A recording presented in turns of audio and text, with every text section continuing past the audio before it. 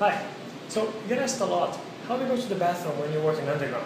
So here at the Sanford Lab, we are 1.5 kilometers or one mile underground and we have very limited water plumbing and limited air circulation. So it's quite difficult to install a normal bathroom to get rid of the waste that gets generated down here. So the way to solve this problem is to use those incinerating toilets called Incinolets, which don't require any water plumbing just need to have this gas vent and they are based on having a toilet bowl that is completely closed but that can be divided in two sections so that when you press a pedal here it drops everything into this incinerating element or it burns out everything. So the way you use it is you pick up this liner. Made of some very resistant waterproof paper. Use it to cover the toilet bowl.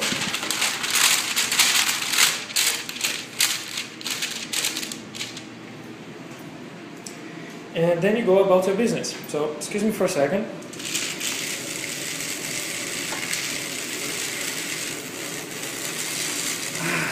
Oh, yeah. Okay.